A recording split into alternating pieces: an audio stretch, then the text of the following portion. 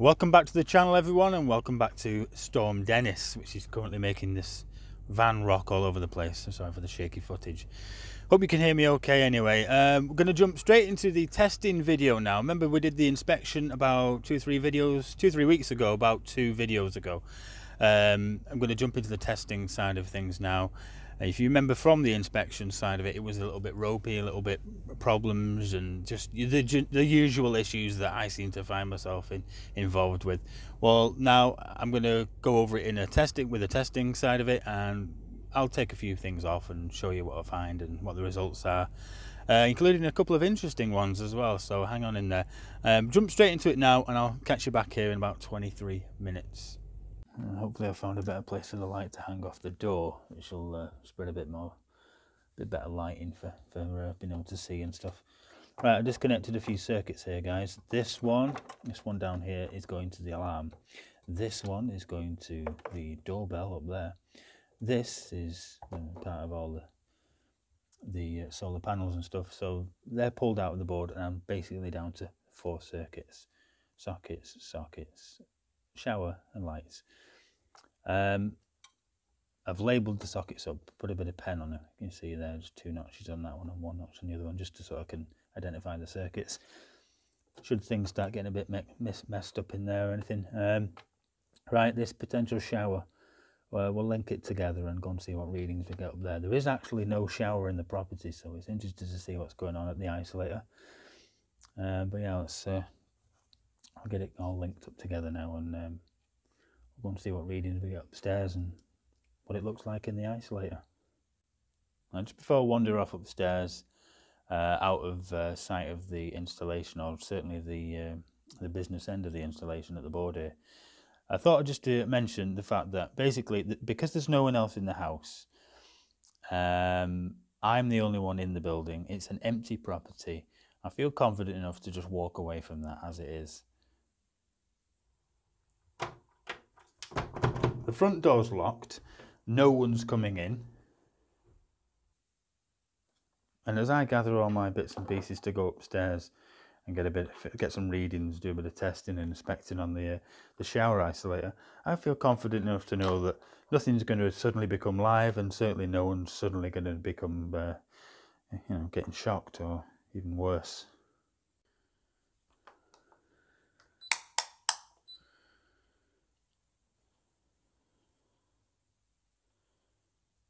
Yeah.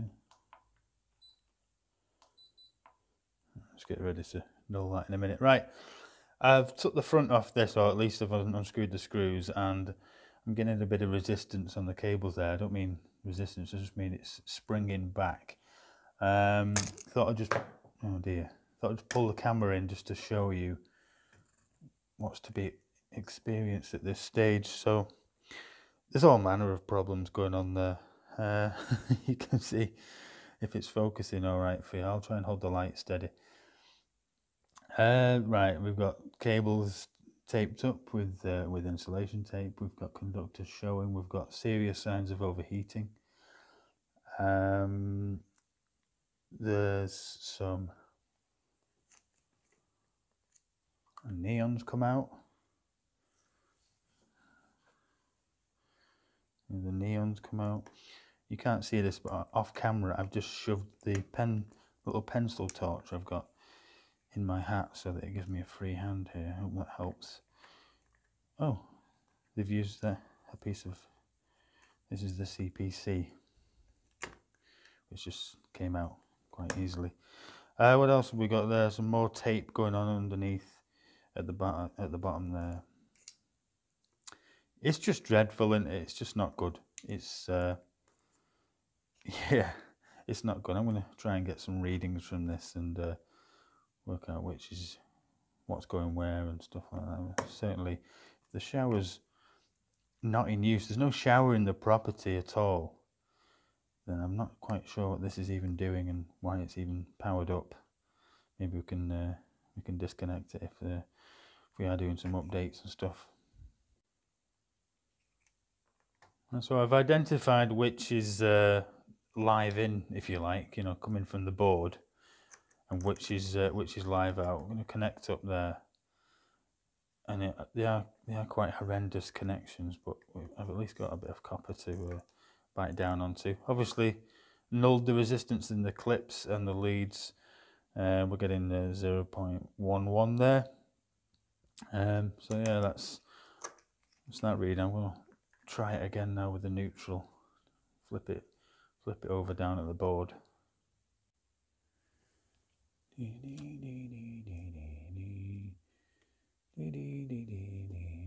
Back upstairs.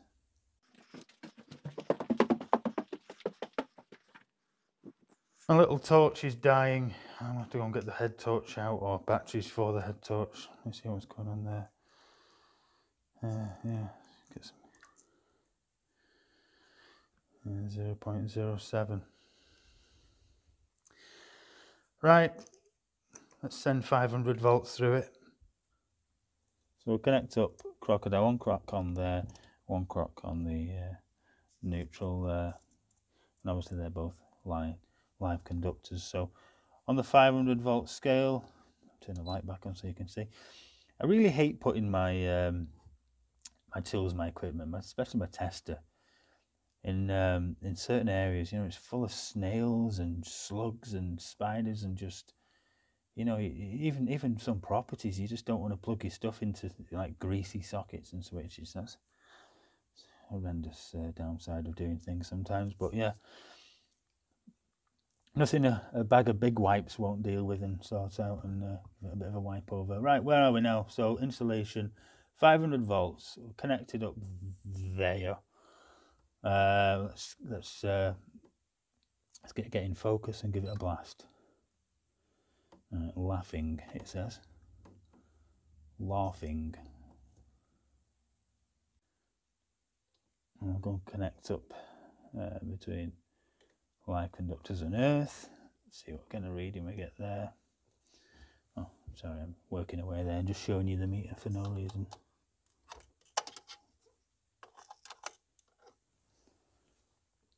So uh, it looks a bit chaotic to be honest, but it's it's it's fine. We've linked linked out live and neutral there, and that'll be the test between both live circuit, both live conductors, and uh, you can see at the at the back there it's connected to Earth. So let's give it another blast. Right, over scale again, plus 999. So uh, yeah, cable's fine. It's just what it's doing that's the problem. You know, there's no real real need for it if there's no shower, is there? I guess we could just not put it back in the board or blank it up there, put a blank on it, terminate them. Um, certainly, if you're going to go ahead and change the board on this thing, uh, which I should imagine we'll be doing, we're not going to put a, a, a shower circuit into it. But who knows what's going to happen? Who knows? and uh, who knows? God knows where the uh, the outgoing to to an earth for that shower at that shower isolator. God knows where that's going. It's probably just going up into the loft somewhere. Yeah. Right, we're going to do a bit of ring continuity, or at least see if there's any any ring continuity at all on these things. You can see I've, uh, I've put my own CPC, uh, well, own sleeving over the CPC because, uh, well, the sleeving that they had was it was all twisted together and using that old stuff there. So I put my own stuff on there. So the uh, yeah the the meter is nulled, or the leads are all nulled. Let's see if we've got any. Where are we up to there? You can hear me beeping it and everything just out of uh, out of shot. So we got 0.22 on the line. Let's see, we got the neutral. 0.21. We're have a full house. Put it back on here now. Uh, zero, zero point five three.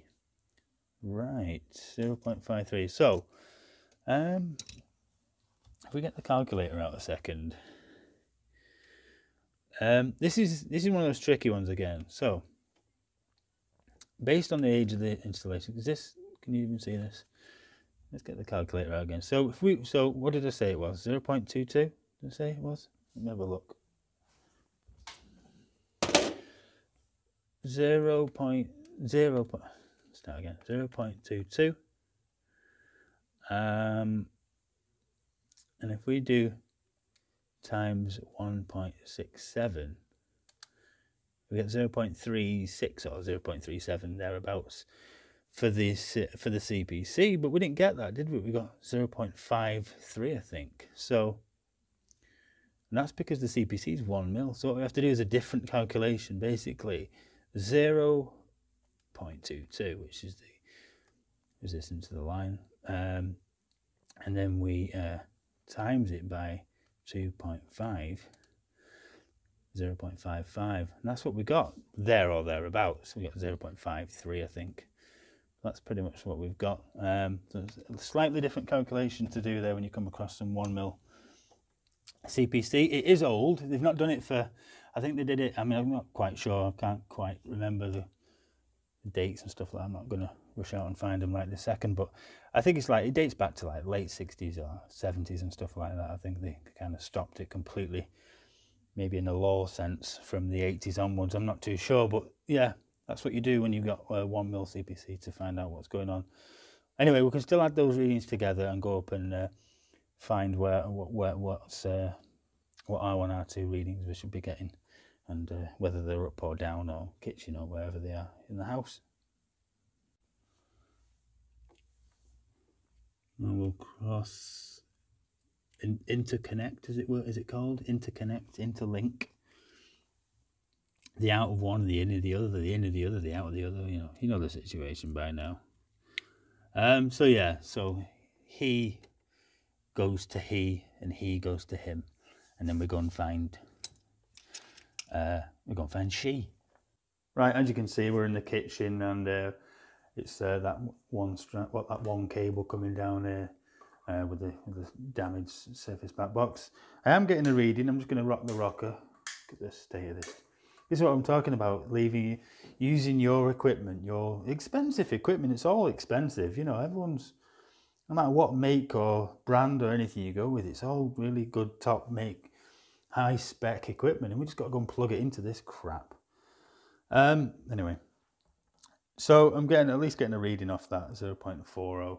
Uh, the expected reading, if you add 0.22 to, uh, I think it was 0.53 on the CPC, uh, you're looking for about 0.19. So yeah, it's a, with this being a spur, we were never going to get that. So I'm going to try a few other different sockets now, especially in the kitchen, and uh, see what this uh, circuit is. What with them not being any labelling at all.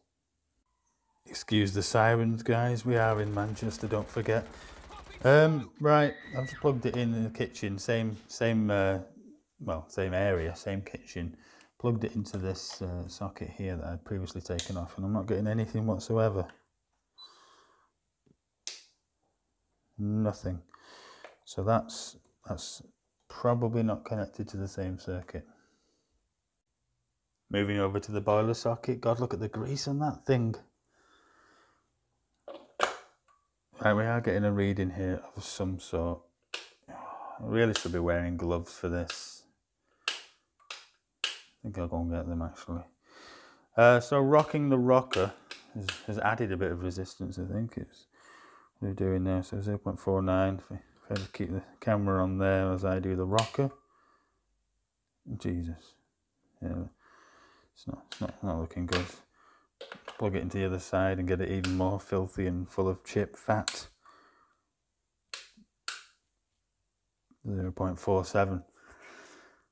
Right, so the highest, highest we've got so far has been in the 6.2s region, hasn't it? What's that saying now? 5.2. Right, okay, 0.52.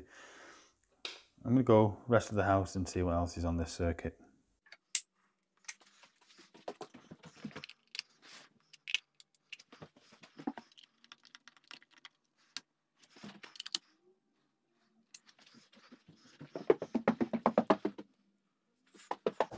Oh, I wondered where you'd gone. Yeah, I'd left you up here dealing with that nonsense. Alright, socket. What have we got here? That's a bit. It is a bit loose, isn't it? I'll just uh, get some lighting on the scene. Light the place up a little bit. It is a bit shaky. What do you expect from a vlog style? So yeah, we've got a certainly majorly wobbly socket going on there. But we am getting a reading. 0.21 as well, so it's quite close to 0.19. Go and check out uh, what's going on in the uh, the front room there. What the hell is this? Frankenstein bloody phone charger. Oh yeah, every iPhone on the planet is like this. You can't even see because it's not focusing, but I can show you. I can assure you every iPhone phone charger is like that. Anyway, where were we? Have we got a reading here? My goodness, on the button. You wouldn't believe it. So it's beginning to look like, not Christmas, but it's beginning to look like the kitchen sockets are on with the, are on with the upstairs sockets. Oh, I spoke too soon. Unless there's a, a cable, a cable out the back, or who knows what's going on with this thing. We'll have a look. Yeah, we're, we've got three cables there, but we've certainly got no uh, connection. Um, so I've either spoke too soon with the upstairs and the kitchen being on the same, or maybe we're uh, present and correct. Well, we're present, but we're not correct. We're not, not connected somewhere. So who knows what's going on with that? Right, we're going to have a look at. Uh, there's two more bedrooms to look at, each with one single socket each. Wow. Go and have a look at them. Right. Well, the the meter made a noise, so we've got something going on. 0.18 on that one. And it just remains the back bedroom to go and have a look at now.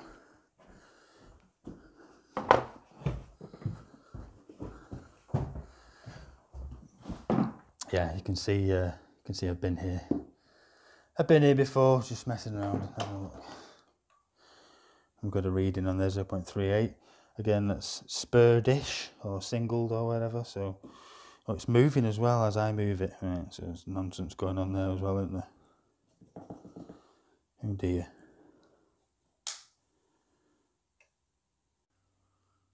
So I can reveal, guys, that uh, this is the actual end of line on the lighting circuit. Uh, well, I've obviously connected the croc clip up there and all the leads again. I'm getting about, it's quite unstable, but it's settling around the 60s mark. That's just due to me uh, not pushing on hard enough. Even six, six, six. I think we saw it there.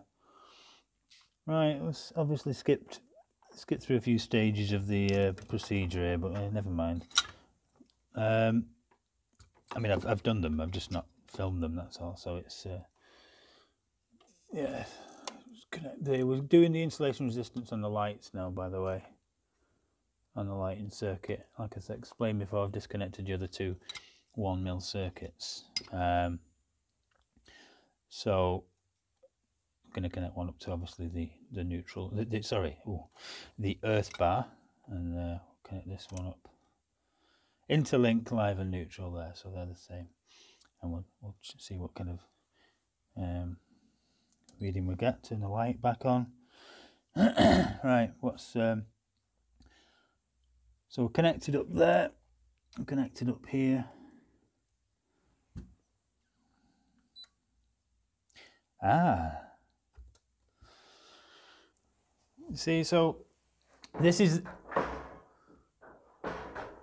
Shut up.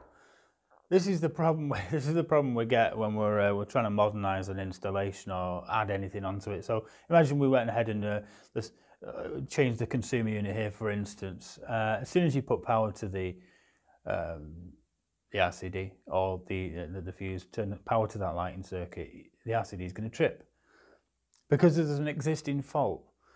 And the age of this place, you know, how long's that fault been in there? Probably 10, 20, 30 years. Who knows? Who cares, I guess. But it certainly had no testing, um, no evidence of any testing. And, and, and my thoughts are, you know, it's that bad now. Is it going to be a full rewire? I mean, there's like one socket in each room. The problem with the lights, should we just go and find the problem on the lights and leave the lights? Should we just add on to the single sockets that are there, change them to doubles, and uh, just add on, uh, upgrade the earth to the to the, the main bonding, sorry, to the water and gas, put a new board on. Lots of things to talk about, and um, lots of, I guess, ways to price it as, well. So we can, uh, you know, maybe is it a full rewire time? Certainly not had one of those for 40 years with the kind of readings and results and uh, types of cables and stuff we've got here. Or is it just a bit of a patch up, uh, an update, and uh, yeah, we'll see what we can get on with. Um, yeah. And heating system's a bit dodgy as well. All right, everyone. I've uh, rebuilt the board, as you can see, and put it all back together as uh, as best as I can. And um, obviously, all the connections nice and tight. Now, I just thought I'd show you the the actual um, fuse carriers, the uh, rewirable fuses here. Show you these if if you can indeed see them. Can you see them there? Just um, just uh, yeah, the condition of them and stuff. They're not they're not too bad. This one, certainly the lighting one, it's uh, it's had its fair share of changed fuse wire over the over the years. But then again, that that IR result we saw, I'm not surprised. We'll go ahead, put that one back in.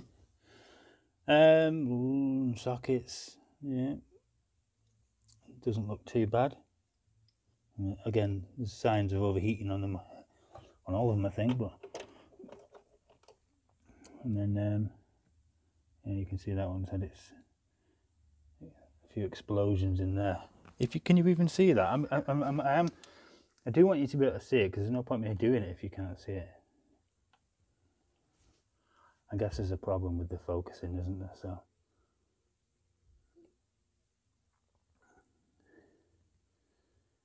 It's not going to work, is it?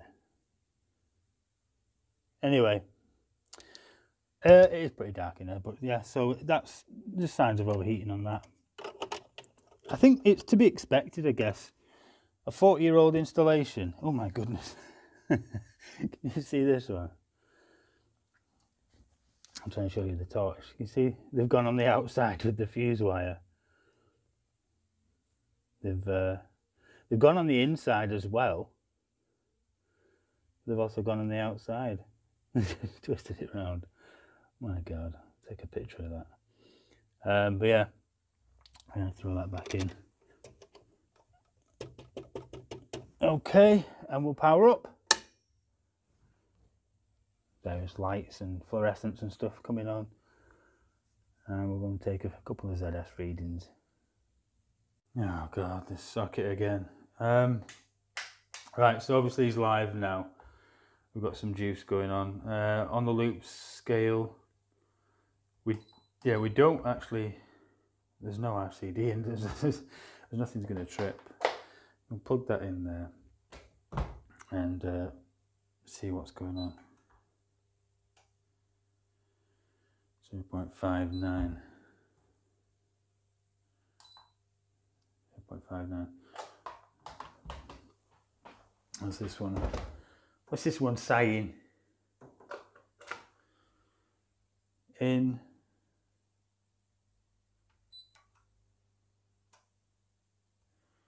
six four. It's full of grease. This thing. I did say I was going to get some gloves, but a bit too far away being in the van.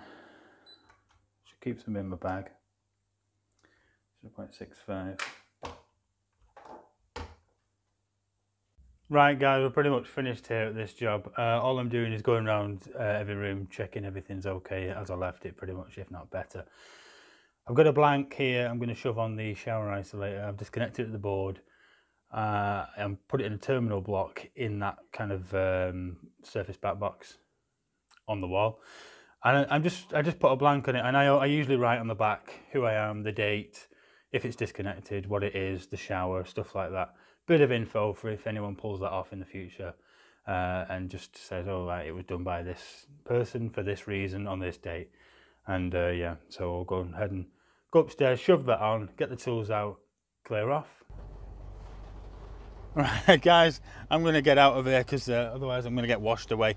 Um, What do you think of them test readings? Eh, a bit ropey, weren't they? A bit, bit, bit crazy to be honest. A bit bad, really, weren't they? Um, rewire, do you reckon? Yeah, I think so. Um, so that's that's that job pretty much dealt with. Um, Rhino Trade Insurance. We're still doing it. Still doing the 10% discount code. So yeah, if you want to save yourself 10% on uh, trade insurance, so that's like tool cover with the uh, tools in transit cover and also the professional indemnity, public liability, that kind of thing. I have it, I use it, and um, yeah, I, I, just thought I'd offer you 10% on uh, any of your insurances. I'll leave a link in the description but you can go and click and uh, check out their website and the phone number and stuff and you can just don't forget to use the JBECK10 discount code and uh, get yourself 10% off okay now I'm gonna I'm gonna leave it here right now before I get like I say washed away and I will catch up with you next time uh, on the next upload uh, hopefully not in the middle of a storm